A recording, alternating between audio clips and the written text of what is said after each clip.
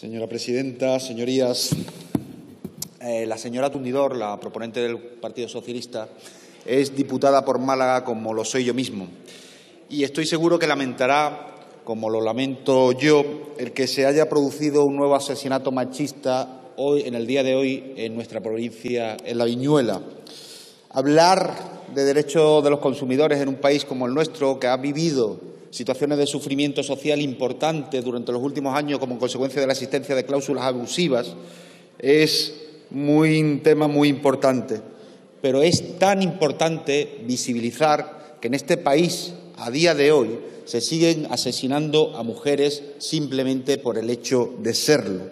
Así que quisiera aprovechar la tribuna para trasladar las condolencias, mis condolencias y las de mi grupo parlamentario a las víctimas, a la, a la familia y a los seres queridos de la víctima y para recordar que los pactos de Estado, si van no van acompañados de partidas presupuestarias suficientes, son simplemente acuerdos que permiten tranquilizar conciencias, pero no acuerdos que permiten solucionar los problemas.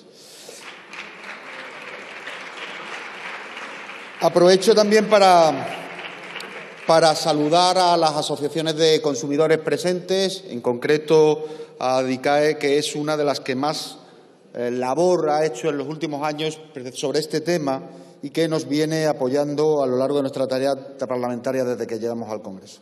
El Grupo Parlamentario Socialista nos presenta para su toma en consideración una proposición de ley para impulsar la transparencia de la contratación predispuesta. Como imaginan, el primer elemento es enaltecer el valor de la transparencia en un contexto como el español, que ha estado marcado precisamente por la falta de transparencia y la existencia de abusos de poder eh, y, la asimetría hasta extremos abusivos. Eh, de entrada, solo podemos darle la bienvenida a la iniciativa. Nos parece que contiene elementos positivos que hay que resaltar se clarifica la estructura normativa en relación a estas materias, hay mejora en la cuestión del régimen de ineficacia contractual de las cláusulas abusivas, introduciendo la nulidad de los efectos de pleno derecho, también en los efectos sobre los efectos la nulidad de la necesidad del efecto restitutorio y equiparación entre la contratación presencial y a distancia. Hay mejoras en el control de transparencia, especialmente la cuestión de la comprensibilidad material de los compromisos que se asumen, es decir, no basta con comprensión gramatical y formal, sino que es necesario que se tengan en cuenta cuál es el alcance jurídico y económico de lo que se está firmando. No vale con que se sepa leer lo que se firma, sino que hay que entender lo que se está firmando. Hay elementos positivos en términos de control de transparencia que deben extenderse a todas las cláusulas del contrato y no solo a su contenido esencial y que, al igual que lo anterior, se extienden a, lo a la contratación presencial y a distancia, hay control de contenidos, eh, de manera que deben ser aplicables de oficio por jueces y tribunales, pero nos parece que la iniciativa, a pesar de darle la bienvenida, está incompleta, es poco ambiciosa perdón, y deja fuera cuestiones que necesariamente deberían estar contempladas. Primero, cuestiones de fondo que es que se trate de convertir la transparencia en un elemento funcional a la patrimonialización de la marca España, como se hace en la exposición de motivos. Señores del Partido Socialista, la transparencia es un valor en sí mismo, una exigencia ciudadana y no solo de los consumidores y una piedra angular de nuestras sociedades en el siglo, XXI. Es más, tiene poco sentido que traten de utilizarlo para valorizar la marca España cuando la mayor parte de las cláusulas abusivas han sido aplicadas por empresas españolas a ciudadanos y ciudadanas españolas. Por lo tanto, nos sentimos incómodos con esa injustificación. No es grave, pero no nos gusta. En segundo lugar, llega tarde y de la mano, llega tarde porque es la transposición parcial de una directiva que se aprobó en 1993. 25 años para transponer una directiva.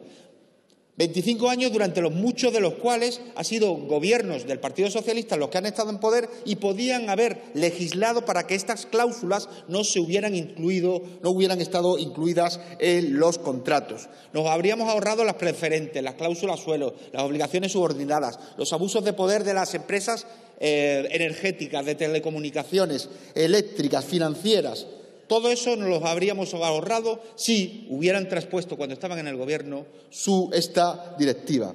Igual es que yo soy un mal pensado y tenía algo que ver para que no se transpusieran el que muchos de los ministros de su gobierno acabaran por la vía de los fenómenos de las puertas giratorias, ocupando los consejos de administración de las empresas que tenían que haber regulado, evitando este tipo de cláusulas abusivas. Eh, ¿Qué nos parece, qué nos parece que falta? Pues que la regulación de la cláusula abusiva usted la hace más liviana que la de la propia directiva y de la regulación española actual, si tratan de regular, al menos mantengan los niveles de exigencia que se venían demandando desde Europa. En segundo lugar, que el derecho de consumo, igual que el derecho al trabajo, es un derecho tuitivo. Un derecho tuitivo significa que un marco normativo tuitivo significa que trata de proteger a la parte más débil. El derecho de poner el trabajo se articula para proteger al trabajador en la relación con los empresarios. El derecho al consumidor se articula para tratar de proteger a los consumidores frente a las empresas.